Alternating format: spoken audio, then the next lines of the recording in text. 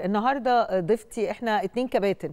يعني كابتن نجوى مصطفى ناقدة صحفيه متخصصة في كرة القدم وأنا هسمي نفسي كابتن شفكي. يعني إيه رأيك؟ بتشرف بيكي يا كابتن شفكي النهارده أيوة حقيقي. النهارده.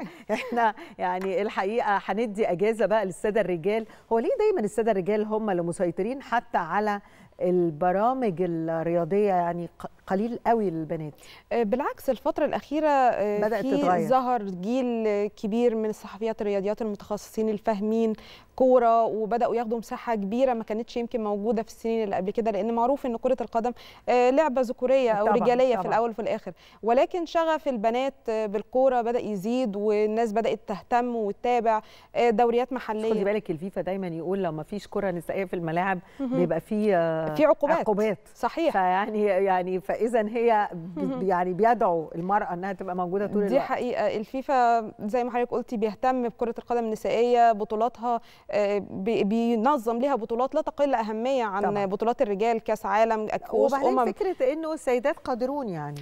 إحنا ده موجودين. أكيد.